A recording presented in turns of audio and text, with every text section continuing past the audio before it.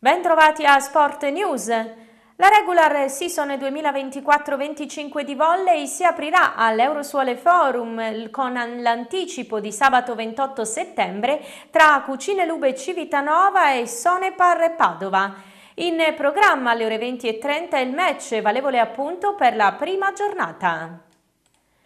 A proposito dei giovani, il calcio del futuro è il titolo di un incontro promosso da BSP Football Agency con il comune di Tolentino, assessorato allo sport e con il patrocinio dell'Università degli Studi di Macerata, Dipartimento di Giurisprudenza, che si terrà lunedì prossimo 30 settembre alle ore 17.30 al Teatro Nicola Vaccai.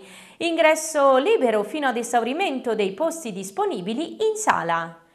E con quest'ultima notizia è davvero tutto per questa edizione del TG, grazie per l'ascolto e a tutti voi una buona serata.